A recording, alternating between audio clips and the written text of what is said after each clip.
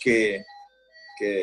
debe ser un poco más rápido para nosotros y para beneficio de, los equipos y sobre todo nosotros que estamos participando en una competencia internacional y que no vamos a tener partidos preparatorios para todo, todo esto. Esperemos que, que se pueda dar, de que se den las pautas, se den las fechas y, y podamos establecer un punto de partida, así saber a qué atenernos y así saber cómo prepararnos para, para el inicio del torneo. Eh, estamos adaptándonos, eh, somos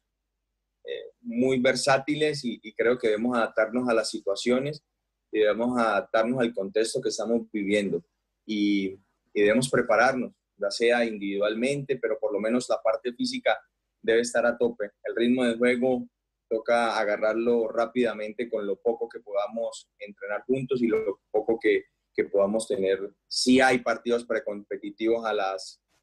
a, a, las competiciones. Creo que es necesario, es necesario, es fundamental de que el equipo pueda entrenar colectivo, de que, de que haya un conjunto ya que sea compacto y que podamos estar en las mismas condiciones o por lo menos igualarnos a, a, a, los equipos que vamos a enfrentar, sobre todo en, la, en, en, el ritmo de juego que es tan importante. Pero sí es algo en lo que, en lo que debemos pensar y en lo que debemos sobre